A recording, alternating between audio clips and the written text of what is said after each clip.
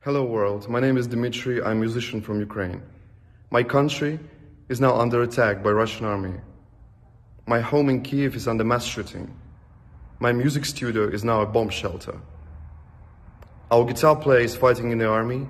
Our drummer is now in the city of Kharkiv under hard bombings, and he is looking at a burning school right across the street. Thousands of innocent people are dying.